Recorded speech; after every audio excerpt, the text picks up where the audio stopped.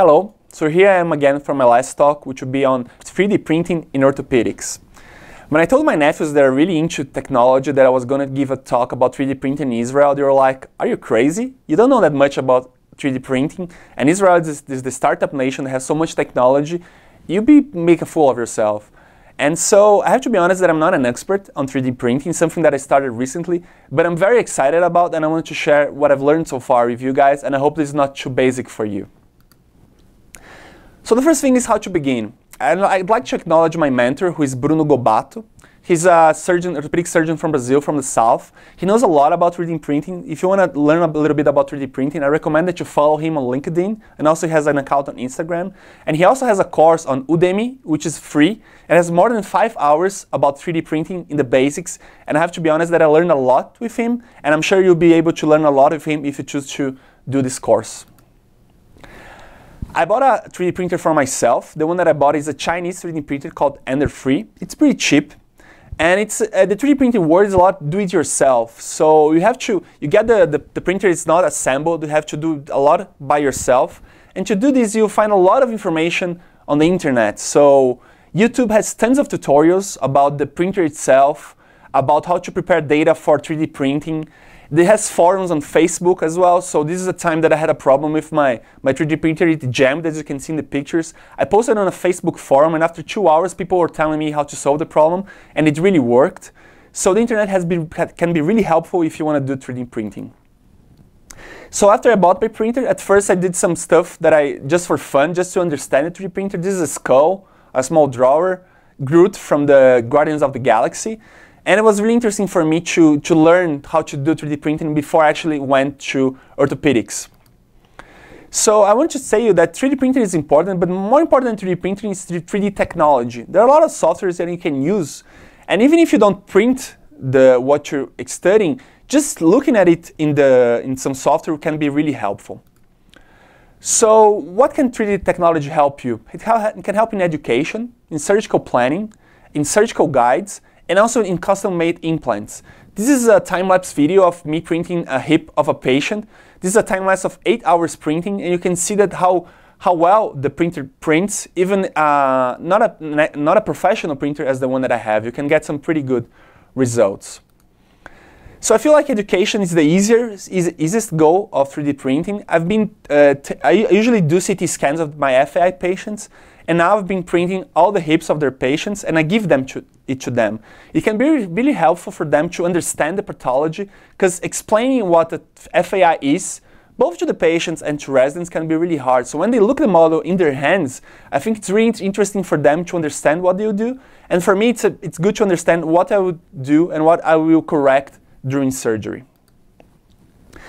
3D printing can also be helpful in surgical planning, especially in, in difficult procedures as periacetabular osteotomy. This is a case from Bruno Gobbato. You can see also that you can take out the femur, look at just the pelvis, and then you can plan the osteotomies, and you can even plan how you're going to correct the patient after you do the osteotomy. So this is something that I really want to research. I've been looking into this with him, so maybe I'll do a research paper on this topic, specific topic. You can use it for surgical guide as well. Bruno Gobbato is a shoulder surgeon, so he use in a case that he, he's planning where to put the, the K-wire to do a total joint for the shoulder, and he can do specific guides for the patient. Uh, this is a case of mine and that I'll be uh, operating soon with a tumor uh, surgeon that I, that I, usually work with. It's an osteomosteoid of the femoral neck, and we're planning how to do a surgical guide to guide us to do the drilling in the right spot. You can use for surgical planning as well, just printing the, the case itself. This is a revision case.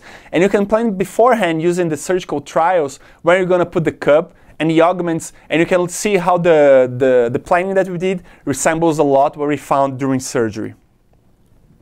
3D printing implants, it's a, it has a lot of future. So this is a case that we're planning 3D and we wanted to do a custom-made prosthesis. A patient with huge osteolysis. And you can see that we can take out the, the implants using 3D technology and print the pelvis itself. We're having some problems now in Brazil with our Anvisa, which is our FDA, so the, thing, the, the government institution that regulates uh, implants, because they, they feel like for each 3D printed implant, we would need one authorization. So this has been a really a bureaucratic process. So I don't have any cases done by this. This one has been uh, uh, waiting already for six months for the surgery, and I'll show some cases of some friends of mine that did. So this is a tumor guide that I work with. He's done uh, custom-made. This is a case of a scapula osteosarcoma. You can even see this huge lesion, and you can see he did a 3D custom-made scapula with a reverse shoulder arthroplasty of it, and you can see it resembles really well the patient anatomy. They use the other side to mirror the, the scapula of the patient, and you can see here a really good function of the shoulder uh, with ele complete elevation of the patient, both active and passive with the custom-made implant. Here, a patient that had uh, an open fracture and he lost his completely lost his talus during the accident, and he also, my friend, did a, a custom-made talus for him. And what you can find in the literature, there's a great increase in orthopedics and 3D printing in PubMed. You can see an exponential increase in the name in the number of, of papers lately.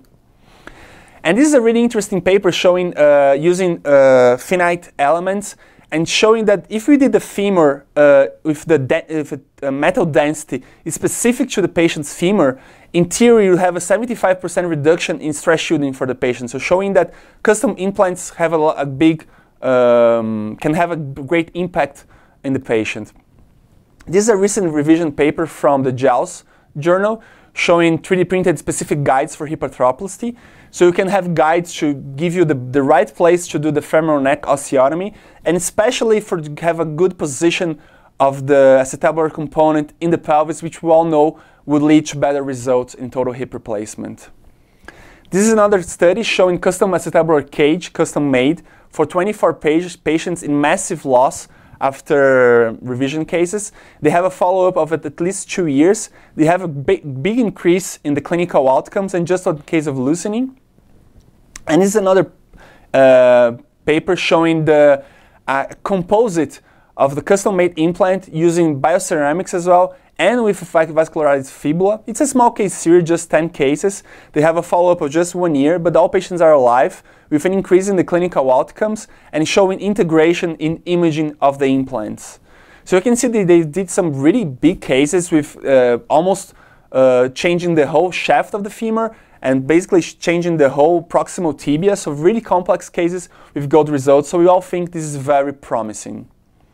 Bioprinting is something that will come in the future. Israel is really in the in the ahead of this of this technology. They you already printed uh, a heart using 3D printing, and I think uh, this has a lot of future in in in orthopedics, especially when you think about cartilage lesions and bone lesions. Maybe you, someday you'll be able to just print a femoral head if a patient has a problem. But this is a way in the ahead in the future. Virtual reality is something that it's going to be really important in the future, I think, especially for education. In the left, you can see a module where you um, do training of an anterior hip uh, using 3D technology. And on the right, it's, uh, it's a startup from Brazil where they use uh, virtual reality to treat, uh, to teach patients, uh, to teach students about anatomy of any place. This is an example of the heart, and you can actually enter the heart and see the, the valves and everything. It's really interesting. Augmented reality is also in the future. This is a, vi a, video from the internet. You can see the patient, the, the doctor using both augmented reality and the, and, and the HoloLens and using it to plan the surgery. And even during the surgery, he can look at the patient and see if he's doing what he, he thinks he's trying to do. And he's bringing also the CT and the MRI, MRI imaging to the face of the patient to make sure that the, he's doing what he thinks he's doing. So this is really, really something that we should look for in the future.